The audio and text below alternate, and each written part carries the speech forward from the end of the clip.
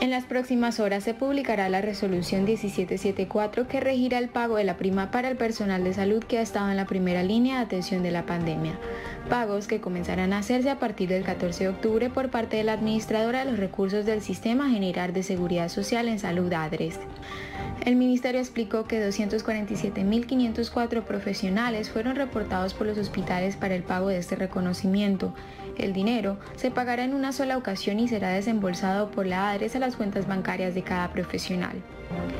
El valor que recibirá cada miembro del personal fue estipulado con base en el ingreso base de cotización, el nivel de formación y la exposición al virus del COVID-19 durante la emergencia, este monto no será inferior a un salario mínimo ni superior a cuatro salarios mínimos. Así, algunos de los valores serán auxiliares de enfermería 1.097.254 pesos, enfermeras profesionales, terapeutas físicas y respiratorias 1.755.600 pesos, médicos generales 2.062.837 pesos.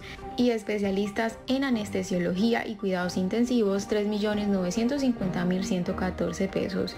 La cartera de salud también informó que el gobierno nacional amplió el cupo de Colombia en el mecanismo COVAX, por lo que se pasará de cubrir un 10 al 20% de la población en la primera ronda de distribución de la vacuna por el COVID en el país.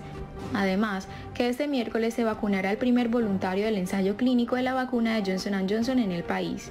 Con esta noticia, miembros y profesionales de la salud que ayudan en medio de la pandemia en nuestro archipiélago tendrán un alivio económico en esta lucha contra el coronavirus, el cual sigue en aumento en las islas de San Andrés, Providencia y Santa Catalina.